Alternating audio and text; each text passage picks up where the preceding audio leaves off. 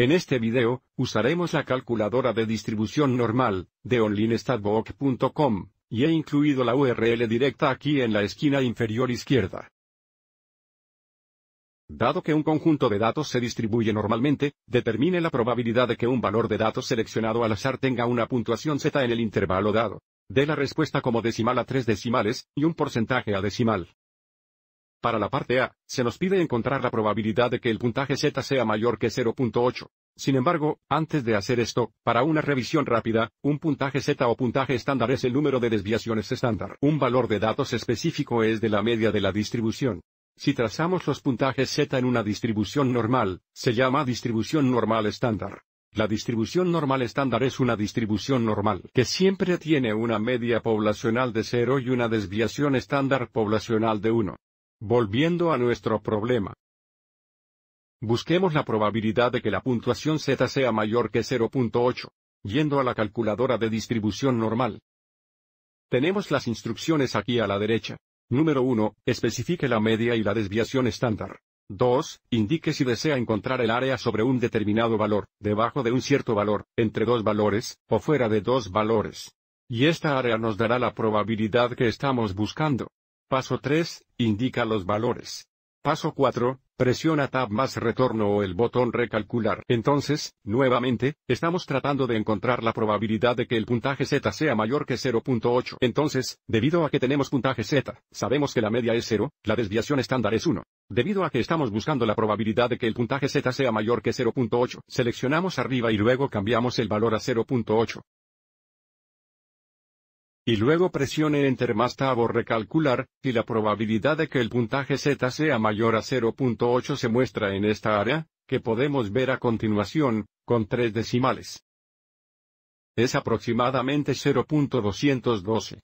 Avancemos y grabemos esto. Que es igual al 21.2%. Para la parte B, se nos pide que encontremos la probabilidad de que el puntaje Z sea menor que negativo 1.5. Volviendo a la calculadora, ahora tenemos que seleccionar abajo, porque tenemos el símbolo de desigualdad menor que, y luego cambiar el valor a 1.5 negativo, y luego presione Tab más retorno o recalcular. Nuevamente, el área que se muestra aquí a la izquierda nos dará la probabilidad de que el puntaje Z sea menor que 1.5 negativo que con tres decimales es 0.067. que es igual al 6,7%. Para la parte 100, encuentre la probabilidad de que el puntaje Z sea mayor que negativo 2.3 y menor que 1.2.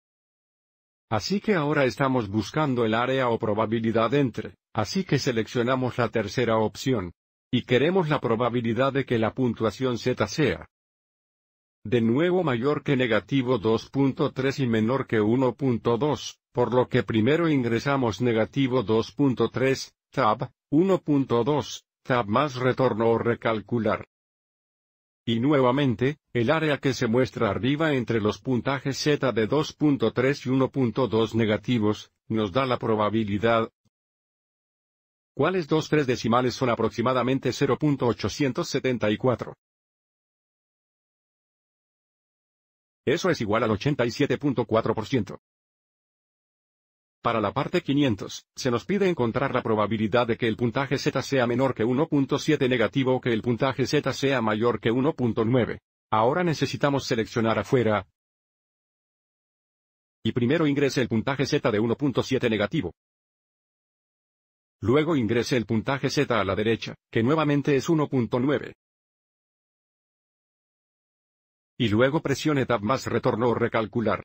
Y de nuevo, observe cómo tenemos el área a la izquierda del puntaje Z de 1.7 negativo, y el área a la derecha del puntaje Z de 1.9. El área total nos da la probabilidad que necesitamos, que con tres decimales es aproximadamente 0.073,